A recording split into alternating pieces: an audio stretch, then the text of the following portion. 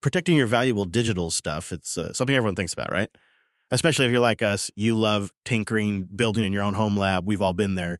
You're happily setting up VMs, uh, Linux containers on Proxmox. And then that little voice pops up. Hey, uh, is this important data really safe? Like safe from accidents, disasters? So today we're doing a deep dive into getting offsite backups sorted for Proxmox virtual environment, PVE, and local backups. Often pretty straightforward especially with things like Proxmox Backup Server, PBS. That part usually works.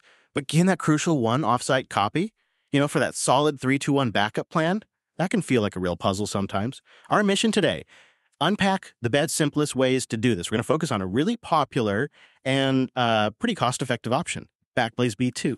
Yeah, and this whole deep dive, it's based on a uh, a really detailed guide about backing up Proxmox with Backblaze B2. Plus, we've layered in lots of real world tips, you know, stuff from the home lab community trenches. It's funny how that three two one strategy, three copies, two different media, one offsite is like the golden rule. Yeah. Everyone says it. But, you know, the real trick for home lab folks, it's that tools like PBS make those first two copies, the local ones, almost too easy. The real challenge isn't just knowing the rule, it's finding that offsite solution that doesn't well, turn into a second full-time job to manage. That is so true. The local stuff, yeah, just hums along. You set up PBS, it does its thing, hourly, daily, weekly snapshots. It's great. But then you hit that one, the offsite copy, and bam, brick wall for a lot of people. Why is that the part that trips people up so consistently? What's the, you know, the core difficulty we're trying to solve? That's a really good question. And yeah, lots of users hit this. Um, take Tom from one of the sources, classic setup. Mm. He had a Dell Precision 5820 for PVE, an Optiplex 5060 running PBS. Locals, perfect, just like you said, mm. but offsite. Constant headache. He's looking at duplicati, rclone, and backrest, just spinning his wheels trying to find something secure, low maintenance, something he didn't have to constantly fiddle with. Oh, I feel that pain. I remember spending days fighting with permissions in LXCs trying something similar. Tom's first idea sounds clever on paper, right? Run Duplicati in an LXC container. Sure. Mount the PBS data store using NFS that's a network file system, basically sharing a folder over the network. Then just let Duplicati push it all up to B2. Mm. Simple. Or not so simple, it turns out. Exactly. The pitfalls hit fast. Running that container unprivileged, suddenly you've got permission problems. Read-only mounts, writes, failing. Yeah. Okay, so switch to a privileged container. Well, now you've got security alarm bells ringing because suddenly this thing needs internet access and it has root level privileges. Not ideal. Not ideal at all. And stepping back, this isn't just Tom's story. You see this all over the home lab forums and communities. It's a shared struggle. People arguing, you know, Duplicati's fine, just got to handle its quirks. Others are like, no way, rclone is king, simple, fast. Then a few others mention backrest because it has a GUI. It yeah. really just highlights the main question. What's mm -hmm. the best way? Secure, easy, and, you know, right for you without driving yourself crazy. Okay, so amidst all that confusion, all these yeah. different tools and their, uh, let's call them personalities, yeah. how did Backblaze B2 float to the top? What makes it the go-to for so many? Price. Honestly, the biggest thing, hands down, is cost and how predictable it is. We're talking roughly $5 per terabyte per month. Compare that to AWS, S3, or even something like CrashPlan. B2 is just way, way cheaper for this kind of storage. That makes it super appealing, especially if you're smart about what you back up, focusing on the essentials. Wow, yeah, less than five bucks a month for three terabytes? That example is really powerful. Someone storing 3TB critical stuff, family photos, things you absolutely cannot lose for less than a coffee a month. Using B2's archive features, that's hard to ignore. Are there hidden costs, though? Like, what about getting gate out, egress fees? Are they reasonable if you actually need to restore? That's always the question with cloud storage, isn't it? But yeah, B2's egress fees are generally seen as reasonable for typical recovery scenarios. And beyond just cost, B2 has other practical wins. It plays nice with the tools people actually use, like rclone and Duplicacy. And crucially, it has lifecycle rules. You set these up and they automatically delete old backups after, say, a month or whatever you choose. Mm. Keeps the cost predictable, stops the bill creeping up without you having to manually prune things. Oh, automation. Love it. Exactly. And this all feeds into that strategic backup idea from the sources. Focus B2 on the irreplaceable stuff, your VMs, your containers, your personal files. Don't waste that cheap storage backing up like a 10 TB media library you could just re-download if the worst happened. Be strategic. It makes total sense. Okay, let's dig into those tools people are using for the offsite part. Duplicati first. It definitely looks nice, right? Web UI, encryption, deduplication. Sounds good. Some folks use it to sync PBS backups straight from a USB drive to B2. Mm -hmm. Seems promising initially. It seems promising, yeah. But that fussy nature comes out pretty quick. The big problems are the ones we touched on. Those read-only headaches and unprivileged LXCs, the security worries with privileged ones. And here's the kicker, the thing people often miss with Duplicati. It's compacting process. It's meant to clean up old backup chunks. But the way it works, it can actually end up downloading data from B2 to do this garbage collection, which, yeah, can unexpectedly drive up your costs. Ouch, that's a nasty surprise. Downloading data to delete data. Right, a classic hidden gotcha. Now, there are workarounds involving NFS permissions and LXC configs to get read-write without going full privileged, but honestly, for many people, it just starts feeling like overkill for what should be a simple task. Too much complexity. Okay, so Duplicati might be more trouble than it's worth for this specific job. What about rclone? That seems to be the crowd favorite. Lightweight, simple. Why does it get so many votes? Simplicity and speed are the big ones, and no GUI needed. That appeals to a lot of command line comfortable folks. The standard approach is pretty straightforward. Back up locally using PBS Yeah. first, get those reliable local copies, then just run a rclone script to either sync or move those PBS backup files over to your B2 bucket. Right. And you could trigger that script .how after Right. a backup job. Yeah, exactly. You could use a hook script with vzdump, Proxmox's backup tool. Something simple like hashtag.binbash, then check if the backup just ended, if $1 backup n, and if so, rclone move the dump directory to Backblaze. Or, probably easier for most, just schedule it with cron. You know, Linux's task scheduler. Set it to run automatically every Sunday morning at 3 a.m. or whatever works. Like 030 root backup 2.sh. Simple. Yep. That kind of automation is key. Set it and forget it, mostly. And that B2 hard delete flag sounds useful too, making sure old files are truly gone from B2, not just hidden. Exactly. Keeps things clean. Plus, people report really good restore speeds. Someone mentioned getting up to 500 megabits per second on a gigabit line. That's pretty quick if you need your data back fast. That's impressive. Any downsides at all to rclone? Anything that makes people pause?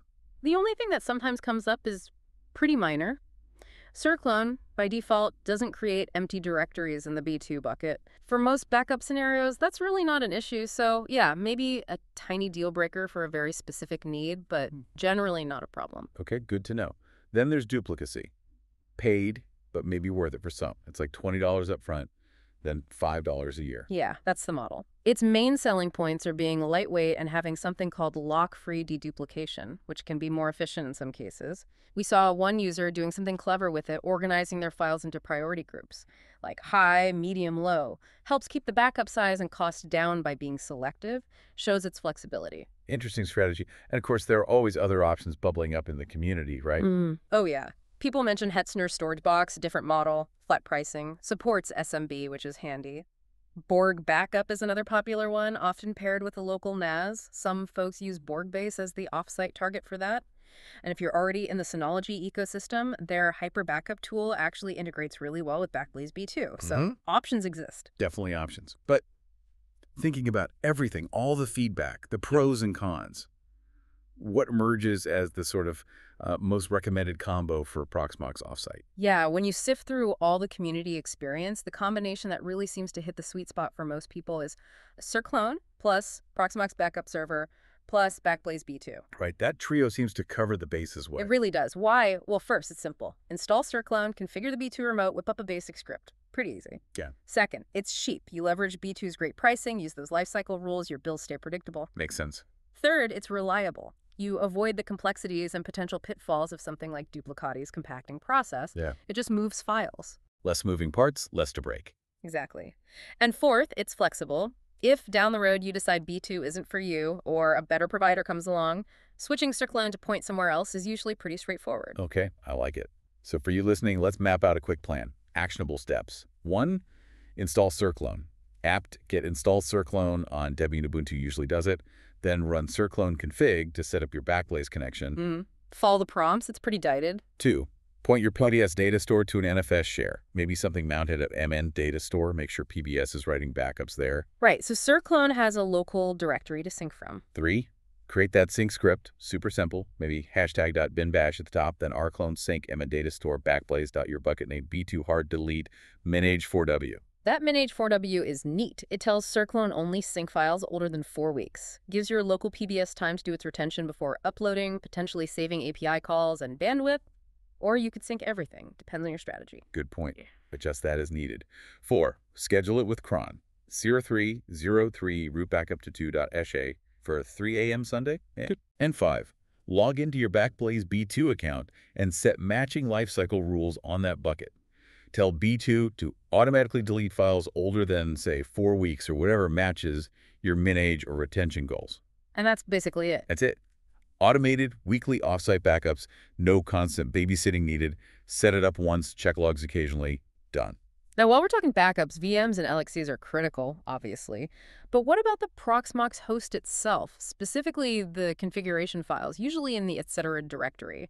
Those are absolutely gold if you need to rebuild your host quickly. Forgetting those, oof, that can turn a potential quick recovery into a nightmare multi-day rebuild. Oh, absolutely crucial point. Don't forget the host config. So how do you back that up easily? Couple of good ways. One popular method is using etckeeper.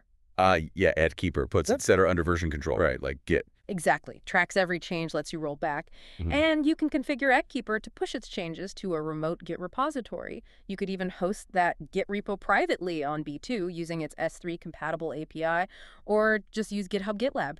Gives you offsite version history of your core configs. Nice. Versioning is powerful. What's a simpler option? Even simpler. Just use rclone again. Schedule another small cron job. iClone sync, etc. PVE, Backblaze. Your dash config bucket PZE, backup dash jersey back, Backblaze. Your dash config bucket PV dash archive, date plus percent, action three buckets dirger D thing, something like that. Okay, so just sync the setbv directory regularly to a separate B2 bucket or folder. Yeah, maybe keep a few dated archive copies using backup deer. It's a small thing, but huge for disaster recovery. Don't skip it. Solid advice. Okay, zooming out again, the big picture here. Right. What's the core philosophy? It really boils down to this. Back up what you absolutely cannot replace. That's the mantra. Prioritize your VMs, your containers, the unique configurations you've built, and of course, any irreplaceable personal data, family photos, documents, whatever. Right. And equally important, what? Not to back up this way. Skip the stuff you can easily get back. That massive 10 terabyte Plex library filled with movies and shows you ripped or downloaded, you can probably re rip or re download those if needed. Don't waste expensive offsite storage on that. It's about being selective Mm. And recognizing there's no single perfect answer for everyone, is there? Not at all. The best Proxmox backup plan is the one that fits your specific needs, your budget, your home lab setup, your risk tolerance. It's personal. But for most home lab folks, that rclone plus PBS plus B2 combo seems to hit a real sweet spot. Yeah, I think so. It just balances ease of use, cost, and reliability incredibly well for this common use case. It's rock solid. But hey, if you really, really want a GUI, maybe Duplicacy is worth investigating, despite the cost. Or if B2's model doesn't appeal, look at Hetzner's storage box, or maybe Mhm. Borg with Borgbase. There are valid alternatives. Absolutely.